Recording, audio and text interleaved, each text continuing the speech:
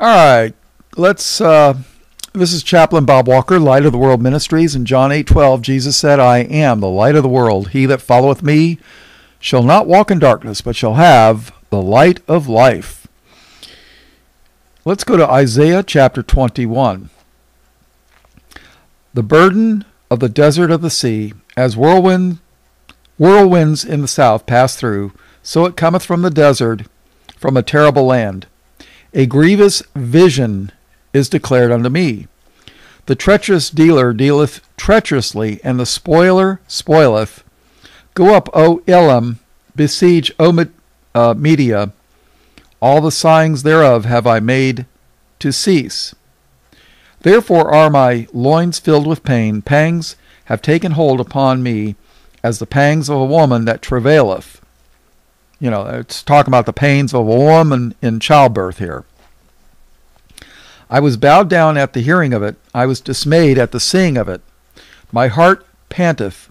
Fearfulness affrighted me. The night of my pleasure hath he turned into fear unto me. Prepare the table, watch in the watchtower, eat, drink, arise, ye princes, and anoint the shield.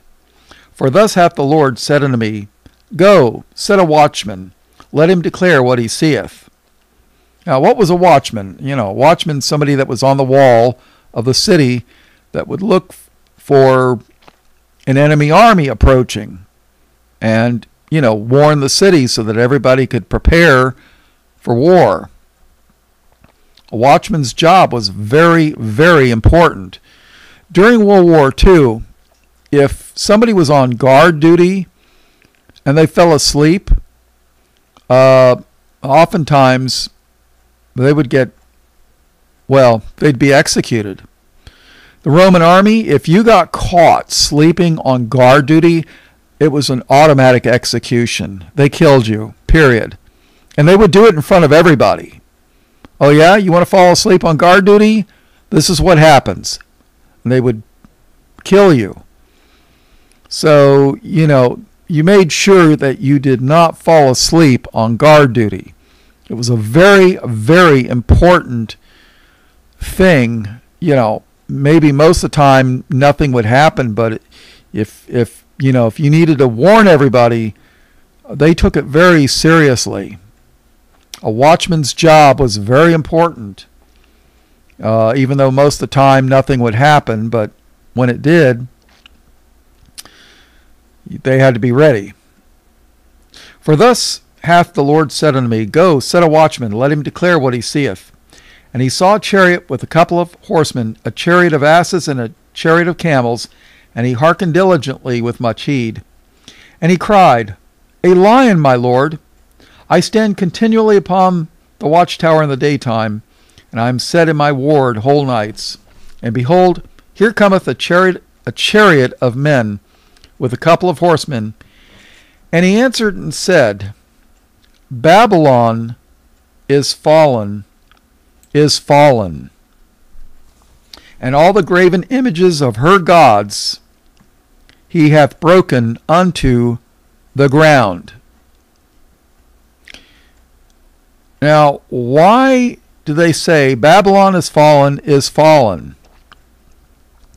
Like I've mentioned before, when I went to uh, Palm Beach College, Palm Beach State College. It was Palm Beach Junior College back in the day. Uh, I always learned that when a teacher repeated something more than once, write it down, learn it, memorize it, because it's going to be on the test. And I think that's what the Lord here is doing. This is going to be on the test, people. Babylon is fallen is fallen. Babylon fell physically.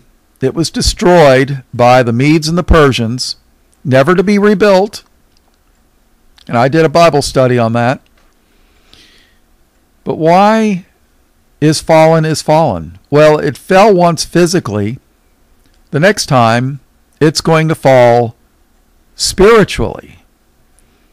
You see, when the Bible in Revelation talks about mystery, Babylon the Great, it's talking about the spiritual aspect of Babylon.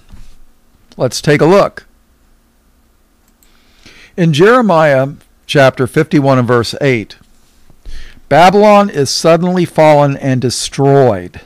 Howl for her, take balm for her pain, if so be she may be healed. So the city of Babylon was destroyed by the Medes and the Persians. Uh, King, well, Hussein tried to rebuild Babylon, but he was deposed from power by the United States government. So, in Revelation 18:2, and he cried mightily with a strong voice, saying, Babylon the Great is fallen, is fallen, and has become the habitation of devils and the hold of every foul spirit, and a cage of every unclean and hateful bird. Revelation 14:8 And there followed another angel saying, Babylon is fallen, is fallen, that great city, because she made all nations drink of the wine of the wrath of her fornication. We're talking about a spiritual fornication, right? All right, let's go back. Uh, Isaiah 21, verse 9. And behold, here cometh a chariot of men with a couple of horsemen. And he answered and said, Babylon is fallen, is fallen, and all the graven images of her gods, gods, plural, he hath broken unto the ground. O my threshing and the corn of my floor, which I have heard of the Lord of hosts, the God of Israel, have I declared unto you. The burden of Dumah. he called me, he called to me out of Seir. Now Seir was the um, land of Esau, Idumea. He called to me out of Seir, watchman that of the night, watchman, what of the night? The watchman said, The morning cometh, and also the night. If ye will inquire, inquire ye, return, come. The burden upon Arabia. In the forest in Arabia shall ye lodge, O ye traveling com- companies of Dedanim. The inhabitants of the land of Tema brought water to him that was thirsty. They prevented with their bread him that fled. For they fled from the swords which the drawn sword, and from the bent bow, and from the grievousness of war. For thus hath the Lord said unto me within a year, according to the years of a hireling, and all the glory of Kedar shall fall. I'm sorry, shall fail. And all the glory of Kedar shall fail.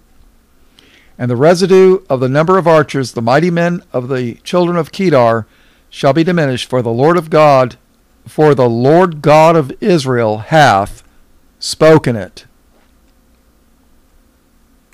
All blessings, praise, glory, and honor to the Lamb of God slain from the foundation of the world in Jesus' name, amen.